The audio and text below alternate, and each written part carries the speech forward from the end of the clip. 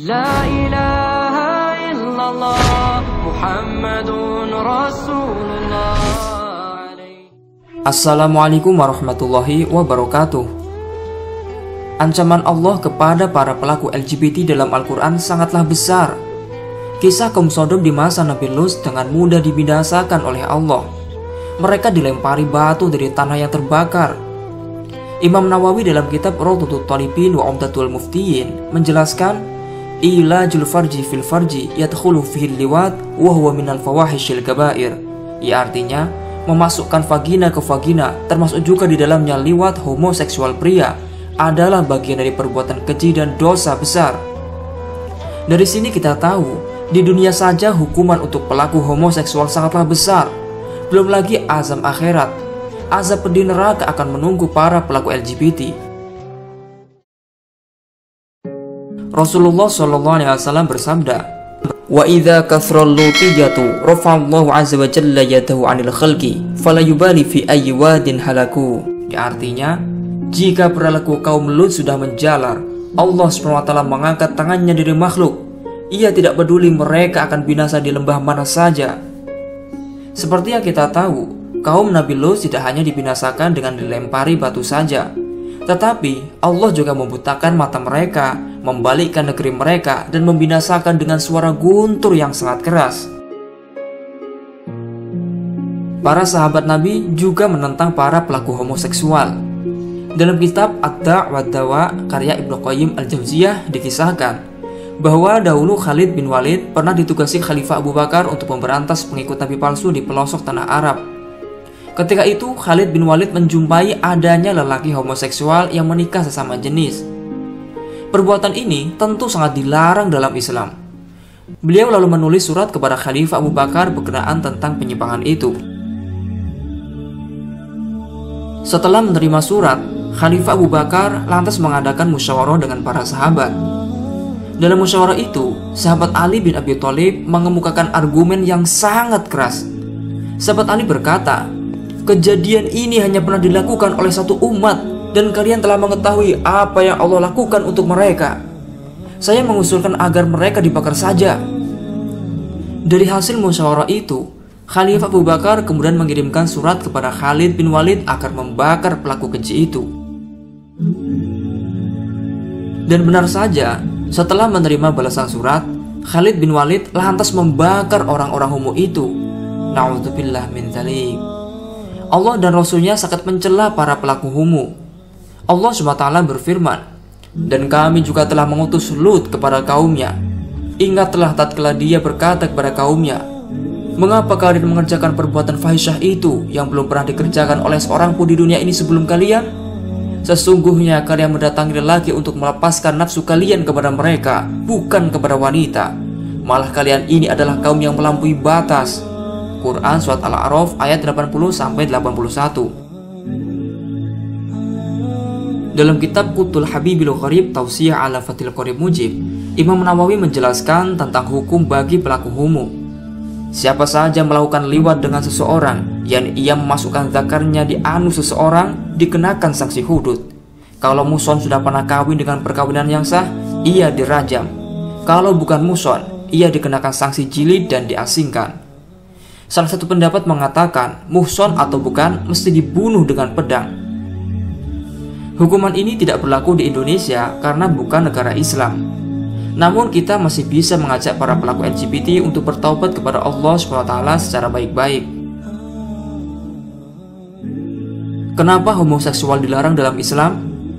Jika kita pikirkan, sebenarnya Allah dan Rasulnya sangat sayang kepada kita agar tidak terkena mandorot besar. Dalam dunia kesehatan, perilaku gay bisa berbahaya untuk kesehatan manusia. Para pelaku gay sangat rentan terkena penyakit kanker anal atau dubur.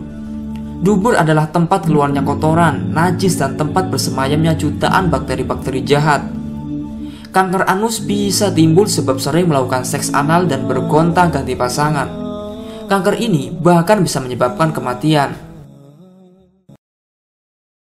Penyakit lain yang sering dialami pasangan gay adalah meningitis atau peradangan otak. Penyakit ini ditimbulkan oleh banyak hal, seperti infeksi mikroorganisme, lalu peradangan, lalu kanker, bahkan melakukan hubungan terlarang. Bakteri-bakteri dalam penyakit ini menggerogoti membran selaput otak hingga mengakibatkan beberapa gejala. Di antara gejala penyakit ini adalah pasien GAI merasa kepalanya sakit, badan demam, suka muntah-muntah. Penyakit ini bahkan bisa mengakibatkan kematian jika tak segera diobati. Wabah penyakit meningitis atau meningokokus pernah terjadi di New York. Para pria homo terkena penyakit mematikan ini dari 20 orang yang terjangkit, ada tujuh orang yang akhirnya mati. Bakterinya menyebar disebabkan melakukan hubungan sesama jenis. Bahkan belum lama ini, di Florida juga ditemukan wabah penyakit menular ini. Bahkan menurut CDC Amerika, penyakit ini mengalami peningkatan dan sudah muncul di seluruh negara bagian. Penyakit ini menyebar lewat air liur atau saluran nafas, ciuman, dan lain-lain. Selain itu, kaum LGBT sangat rentan terkena virus HIV atau Human Immunodeficiency Virus. Virus ini menyerang kekebalan tubuh dan sampai sekarang belum ditemukan obat ampuh untuk mengakhiri infeksi virus ini. Virus HIV bisa menular lewat hubungan seksual dan gonta-ganti pasangan. Pasangan gay sangat rentan terinfeksi saat berhubungan anal. Menurut penelitian yang dimuat dalam International Journal of Epidemiology mengungkapkan bahwa tingkat risiko penularan HIV lewat seks anal lebih besar 18% daripada penetrasi vagina. Berdasarkan pustatin.kemenkes.go.id bersumber dari UNAIDS United Nations Program on HIV and AIDS 2019 bahwa jumlah penderita penyakit HIV terbanyak di dunia berasal dari Afrika yaitu sebanyak 25,7 juta orang Disusul Asia Tenggara sebanyak 3,8 juta, Amerika 3,5 juta, dan Pasifik Barat sebanyak 1,9 juta. Di Indonesia sendiri, penyakit ini terus mengalami peningkatan untuk setiap tahunnya. Sampai Maret 2021, Dijen P2P Kemenkes RI melaporkan sudah ada 427.201 kasus HIV dan 131.417 kasus AIDS di Indonesia. Berdasarkan latar belakang, orang-orang yang terjangkiti virus HIV AIDS di antaranya adalah sekitar 5,3% berasal dari orang-orang PSK atau pekerja seks komersial, lalu 25,8% berasal dari orang-orang homoseksual, lalu 28,76% berasal dari orang yang memakai narkoba suntik, lalu 24,8% berasal dari orang-orang transgender, dan 2,6% berasal dari orang-orang tahanan.